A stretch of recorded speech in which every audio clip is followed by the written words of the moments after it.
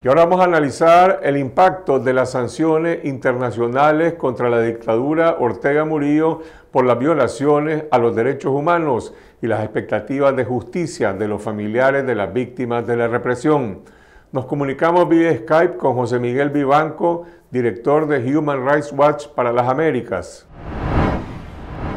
José Miguel, el año pasado Human Rights Watch recomendó la aplicación de sanciones contra varios altos oficiales de la policía de Nicaragua involucrados en graves violaciones a los derechos humanos. El pasado 5 de marzo, el Departamento del Tesoro sancionó a tres de ellos, al jefe de los antimotines, al encargado de la cárcel del Chipote y al jefe de tránsito y patrullas de Managua, pero además sancionó a la policía como institución del Estado. ¿Cuál es el impacto de esta sanción?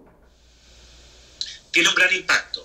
La sanción tanto a estos eh, jerarcas de la policía responsables por violaciones a derechos humanos, como también obviamente la sanción a la policía eh, como tal, como institución, al congelarle sus bienes y en el fondo tratarlos como una entidad eh, como una mafia, como una organización, yo diría, eh, propia o típica del crimen organizado que comete gravísimas violaciones a los derechos eh, fundamentales con total impunidad. Nosotros le solicitamos a los Estados Unidos que aplicara sanciones de esta naturaleza al jefe del Chipote, Pérez Olivas, una, una, uno de los jerarcas más brutales de la policía de Nicaragua, que eh, es el responsable por hechos atroces que se han cometido contra personas eh, inocentes, contra eh, disidentes políticos, que incluyen torturas, tratos crueles, inhumanos y todo tipo de atrocidades con plena impunidad.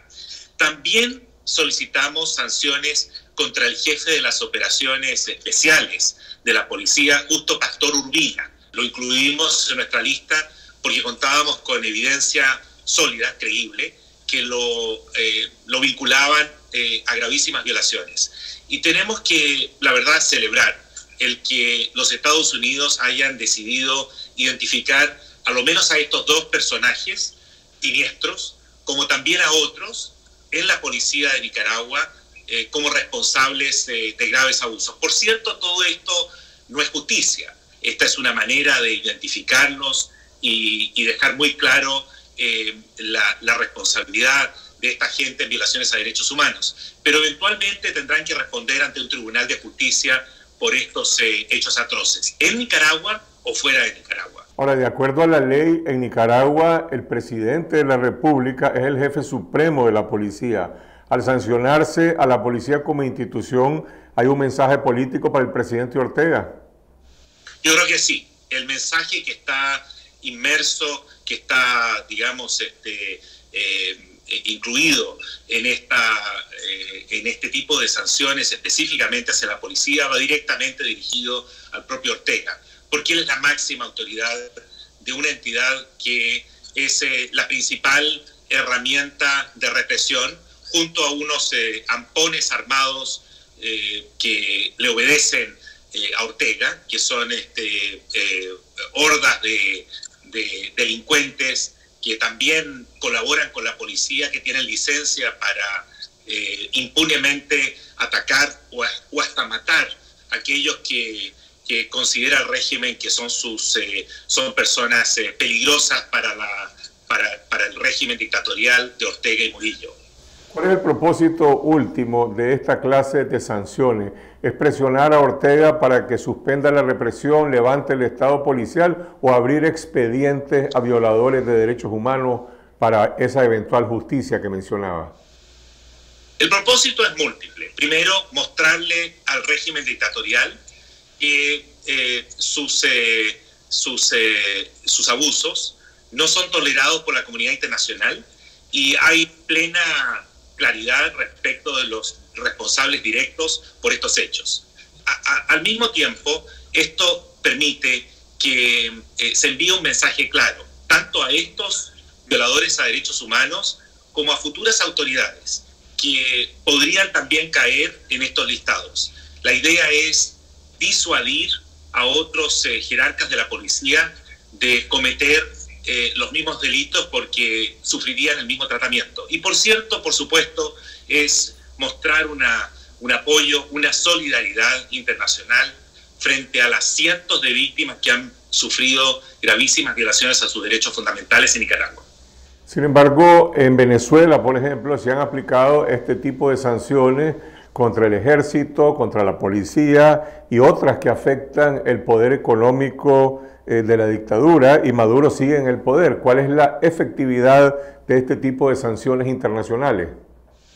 Yo creo que esas sanciones son muy efectivas, al punto que cada vez que Maduro eh, entra en algún proceso de negociaciones, lo primero que hace es eh, solicitar que le levanten las sanciones a él y a sus cómplices, al régimen de, de Venezuela se los solicita reiteradamente tanto a Europa, Canadá, a los Estados Unidos, le importan realmente mucho, porque eh, en general estamos hablando de corruptos y de eh, gente involucrada en todo tipo de crímenes que resienten que eh, sus, sus bienes hayan sido congelados tanto en Europa como en los Estados Unidos y al mismo tiempo lamentan no poder viajar ellos incluso algunos de sus familiares directos cuando están involucrados en este tipo de crimen y están incluidos en, esta, en estas listas.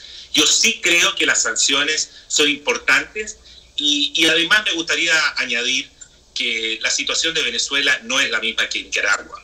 Venezuela eh, tiene una, una, una, posición de punto de vista geopolíticos y de recursos naturales eh, muy distinta de la situación de Nicaragua. Nicaragua eh, la dictadura de Nicaragua eh, debería ser mucho más, eh, yo diría, sensible a, este tipo de sanciones por parte de la comunidad internacional por el grado de dependencia que tiene de la cooperación internacional, tanto a nivel de Centroamérica como con Europa y los Estados Unidos. Hay dos incógnitas pendientes del entorno internacional en relación a Nicaragua. Una es si la Unión Europea aplicará también sanciones al régimen de Ortega después de que han aprobado un marco legal para esto. Y la otra es si la OEA podrá reunir los votos para aplicar sanciones en el marco de violaciones a la Carta Democrática. ¿Consideras que estas dos acciones pueden ser viables? Yo creo que es eh, viable que en Europa eh, se apliquen, se intensifiquen las sanciones individuales por, contra el régimen de Ortega. Yo creo que eso ya está muy adelantado. Eh, no hay mayor simpatía en Europa por la dictadura de Ortega. Eh, y no hay mayores dudas que, que Ortega representa eh, una dictadura brutal, que ha cometido gravísimas violaciones a los derechos fundamentales y que no colabora en absoluto con la comunidad internacional para la investigación de este tipo de, de crímenes cometidas por el régimen.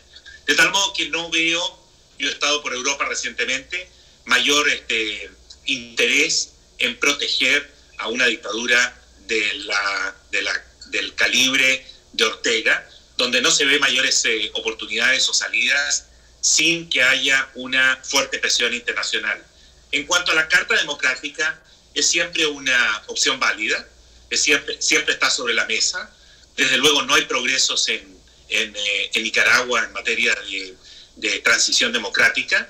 Eh, hay un consenso regional eh, sobre las, las violaciones que existen y la concentración de poder y el afán de Ortega por perpetuarse en el poder. Así es que no creo que esa, digamos que la OEA esté muy lejos de iniciar un proceso dirigido a aplicar la Carta Democrática Ortega. Las sanciones contra la policía en Nicaragua también han sido interpretadas como un mensaje hacia el ejército de Nicaragua. ¿Cómo se aprecia desde el exterior, desde la mirada de los derechos humanos, el papel que ha jugado el ejército de Nicaragua en esta crisis, en la que ha sido señalado no de ser un actor directo, pero de complicidad al rehusarse a desarmar, por ejemplo, a los grupos paramilitares que operan fuera de la ley? Creo que en Estados Unidos, por lo menos, y me atrevería a decir también que en Europa, la impresión eh, que existe eh, es que eh, los principales responsables por violaciones a los derechos humanos en Nicaragua son agentes de la policía. De allí eh, eh, la razón por la cual se están sancionando a los jerarcas de la policía de Nicaragua. En el pasado a Francisco Díaz, eh, director de la policía, y otras de, sus autoridades máximas. El ejército no es percibido tanto en Washington como en Europa como que tiene un grado de responsabilidad similar al de la policía. hasta ahora la información que existe es que el ejército se ha mantenido al margen. Hay un par de discursos controversiales del jefe del ejército eh, en presencia de, la dictadura, de los representantes, de los máximos representantes de la dictadura nicaragüense. Pero fuera de ese discurso, creo que todavía no existe evidencia que el ejército esté directamente involucrado en violaciones a los derechos humanos. De allí que las sanciones estén concentradas en, la policía y la atención mundial también en los líderes de estos grupos parapoliciales que actúan eh, con brutalidad y que son también responsables de gravísimas violaciones, incluyendo ejecuciones de personas. Con la pandemia del coronavirus, el presidente Ortega ha manejado esta crisis con ausencia, con indolencia, al grado de que es uno de los pocos gobernantes del mundo que no solamente no ha declarado una emergencia o una cuarentena, sino que promueve aglomeraciones masivas de personas. Y en Nicaragua existe ya una polémica sobre cuáles son eh, las implicaciones que tiene su actuación en esta crisis. Los abogados penalistas dicen cuando menos se está incurriendo en homicidio culposo o exposición de personas al peligro. ¿Se puede tipificar esta acción o estos delitos desde la óptica de la doctrina de derechos humanos o la justicia penal internacional? Mire, eh, no, no he examinado el tema, eh, no creo que eh, sea posible tipificar este tipo de conductas en ese, en, ese ámbito desde el punto de vista del derecho penal internacional. Estamos enfrentados a una situación nueva, como es este, la propagación de un virus, que requiere obviamente tomar medidas estrictas desde el punto de vista de la salud pública de, toda la población, de la población a nivel global.